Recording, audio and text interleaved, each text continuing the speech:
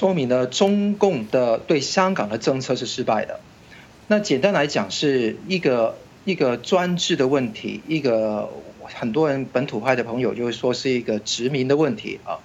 但我们放在二十年的那个周期来看，从九七年一直到零八年，我们看到香港人的中国人认同的那个指数是飙升的，就是不是飙升，也是缓缓的上升，到零八年奥运会达到巅峰的。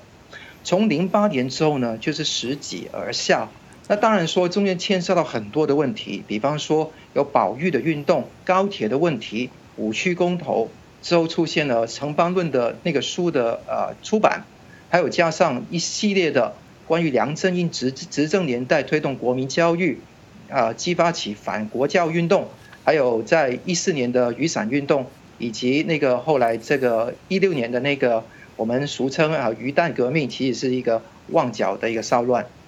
那这一个系列的事情，体现得出年轻人一代，一个他在本身在经济上啊没有办法有投入，这个是一件事情。但是更重要的是体现到他们作为一个香港人，跟中国的政府、中国现在的很多的啊实际上的生活的一个面貌有所不同。他们想保存自己的生活的模式。